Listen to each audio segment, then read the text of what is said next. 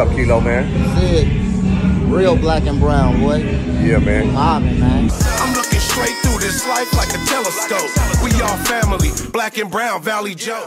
What's going on YouTube? Make sure you hit that like button, hit that subscribe button. It's free, man. Hit that like, hit that subscribe. It ain't gonna cost you nothing. Let's go. What's good, YouTube? Today we got a good discussion to talk about. It's it's in regards to the Northerners, the Norteños, and the Africano community here in Northern California. The relationship, the ties, a little bit of the history, and how it was from my point of view growing up. How how because you know you always hear oh black and brown is tied up north, black and brown unity is real up north.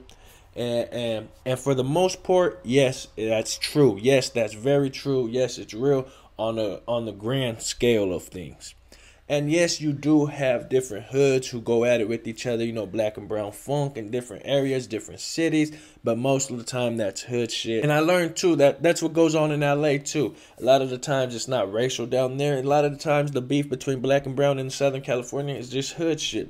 You know what I'm saying? So same thing up here, but on a grander scale of things, it's mostly black and brown love. You know what I'm saying? That unity is real and it's there. First, you're gonna have OGs on both sides who may not like each other. You're gonna have black OGs that don't, for whatever reason, don't like Mexicans. You're gonna have Mexican OGs that, for for whatever reason, don't like blacks. That's their reasons. We're not here to talk about that right now. We're here to talk about the unity and how it how it got here. For me, I said this before. If you guys watch my channel, my whole family's been to the pen. Uncles, grandpa, my dad, everyone, right? All my cousins. So these old veteranos laced us up. These old G's that been to the pen in the 70s, 80s, 90s. My grandpa been to the pen in the 60s. You know what I'm saying? But it was my dad and my uncles and my older cousins, mostly my dad and my uncles, that's been to the pen in the 70s and the 80s that were on the yard with BGF.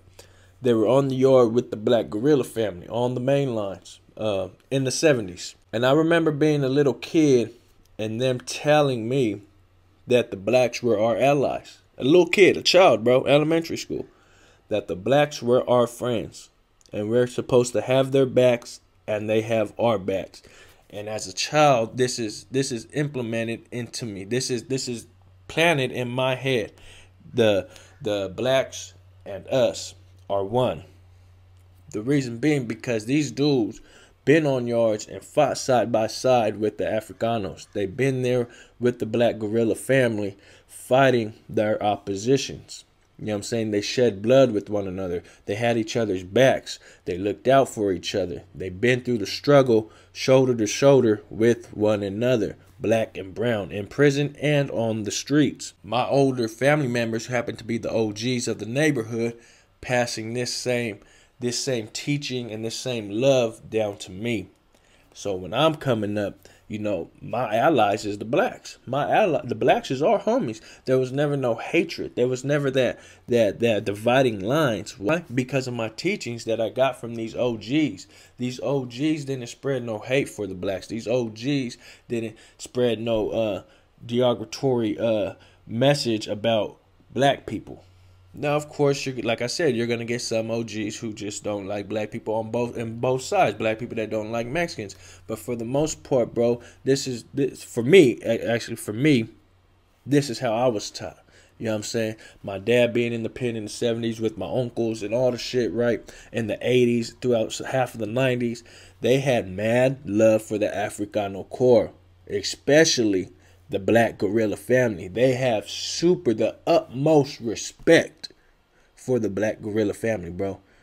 That's a fucking fact. And every OG that their other friends that they have, veteranos that been in the pen in the 70s and all that, right? They all have the equal same amount as the utmost respect for the Black Guerrilla family. They say they talk highly of these dudes. They they tell stories. They they speak about these guys in the highest of in regards, the highest like they they have they have these guys on a pedestal, and vice versa. You know, I met some of these dudes. You know what I'm saying? They they would play fucking um what was that shit? Pinochle. They would be in the garage playing Pinochle. Oh geez, sitting back listening to oldies. You know what I'm saying? And I'm right there. They're like, hey, go grab me a beer. Whoop. You know what I'm saying? I'm a kid. Go grabbing them some beers. You know what I'm saying? There's this one dude I remember he had BGF, Black Guerrilla Family, spelled out on his back, blasted.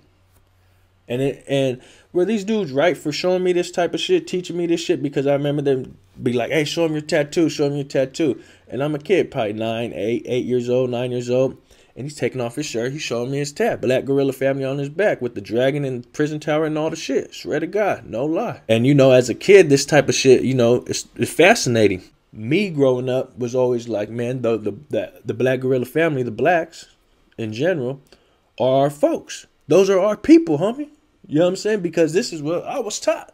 These is our people, homie. Yes, they're not Mexican, but they're they're they're with us, and we're with them, and that's that. And that's just the way it was. And just like I didn't second guess why we went at it with the Southsiders, why we why there was that divided line, it was just second nature. It was just normal that the Sureños were enemies and the blacks were our friends. You know what I'm saying? I didn't make the rules, homie. I just abide by them. You feel me? This is just to shed a little light and insight on those that may not be from Northern California, or even if you are from Northern California and you didn't have the same experience as me. This could be a reason why some of the factors that play into the unity of black and brown because of the OGs taught it this way. Same thing with the black dudes. I, I got black homies where we talk and they say they grew up the same way. They got uncles, OG uncles from the Bay Area that are um, Black Guerrilla Family OGs, BGF OGs. When they came out the pen, they passed that same love for the Norteños down to their young life,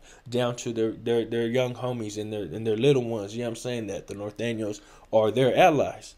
You know what I'm saying? And so, like I said, it's vice versa, bro. It's just the way we grew up you guys have any experience like this growing up or did you guys have the opposite growing up? Let me know in the comments man. I want to read what you guys have to say. I read all the comments. I reply to most of them let's get this conversation going. Again i know a lot of people not everyone grew up the same way i did. Households are different. Older homies are different. Everywhere you go it all depends on you. Let me know in the comment section. Let's talk about this. It's the kid. Let's go. What's up kilo man? Sid. Real black and brown, boy. Yeah, man. Mobbing, man. Still been here, man. Before black and brown was black, and before you motherfuckers put a name on it, we was here. Check it out. My real nigga right here, boy. Yeah, man. Man, we up in here, man. We at the Midway. Man, Frisco, Vallejo, man. Liz, man. Where my dog at, man? What's up, baby? Man? What's up, big baby? Happening with you, man? Yeah, you already know what it is. Doing it, moving like always. Toes, my nigga. I appreciate you too, Toes. Man, thank you, my nigga. Thank you. Always step up for us. How you been, nigga? Hey, man, you, hey, you, hey, look. You one of our goats, my nigga. Hey, look. Hey man, when it comes to black and brown, the niggas putting it down, man, from Hunters Point and niggas doing it right and putting the pipeline in the hood. Yeah, man, wave up. Fuck that wall, man. We been dropping tunnels, man, and business business funnels, you understand me? Cocaine and real game music, you understand me? Black and brown putting it down, Hunters Point, Big Block, Alameda, you feel me? And Big on Michonne, you feel me? This Big Dato, you understand me? Tito Puente in the hood, you feel me? He been dancing, man. Turning tricks, you feel me? Man.